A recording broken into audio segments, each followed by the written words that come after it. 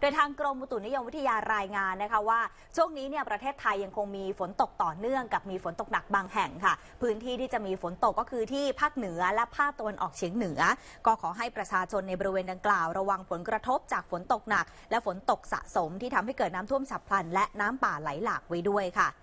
สำหรับคลื่นลมบริเวณทะเลอันดามันและอ่าวไทยตอนบนมีกำลังแรงนะคะ โดยทะเลอันดามันมีคลื่นสูง 2-3 เมตร และอ่าวไทยตอนบนมีคลื่นสูงประมาณ 2 เมตร ขอให้ชาวเรือเดินเรือด้วยความระมัดระวัง และเรือเล็กบริเวณทะเลอันดามันควรงดออกจากฝั่งต่อไปอีกหนึ่งวันค่ะ ด้านป้องกันและบรรเทาสาธารณภัยรายงาน สถานการณ์สาธารณภัยในพื้นที่เกิดอุทกภัย น้ำโขงล้นตลิ่งนะคะ ตอนนี้มีที่จังหวัดนครพนมที่ตอนนี้ได้รับผลกระทบแล้ว 8อำเภอได้แก่อำเภอเมือง เรนูนคร ปลาปาก ท่าอุเทน โพนสวรรค์ธาตุพนม บ้านแพงและนาแก่ มีบ้านเรือนที่ได้รับผลกระทบ 9 หลัง วัด 2 แห่งถนน 30 จุด พื้นที่การเกษตรได้รับความเสียหาย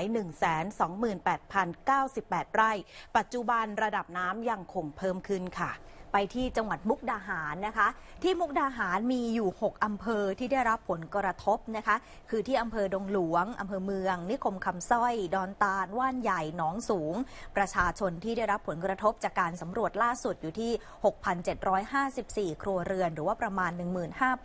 15,534 คนค่ะ ที่มุกดาหารแห่งนี้นะคะมีพื้นที่การเกษตรได้รับผลกระทบไป 28,582 ไร่ แต่ว่าข่าวดีก็คือ ปัจจุบันนี้ระดับน้ำลดลงค่ะ เช่นเดียวกับที่จังหวัดอำนาจเจริญนะคะ มีพื้นที่ที่ได้รับความเสียหายคือที่อำเภอชานุมาน พื้นที่การเกษตรได้รับความเสียหาย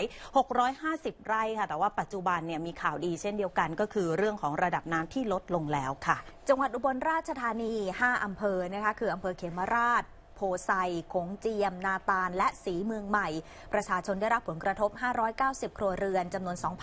2,307 คนต้องอพยพไป 14 ครัวเรือน ซึ่งปัจจุบันระดับน้ำที่นี่ก็ลดลงเช่นกันค่ะ ส่วนกรณีฝนตกหนักน้ำไหลหลากที่จังหวัดสกลนครได้รับผลกระทบ 2 อำเภอนะคะ คือที่อำเภอสว่างแดนดินและพลแก้ว ประชาชนได้รับผลกระทบไป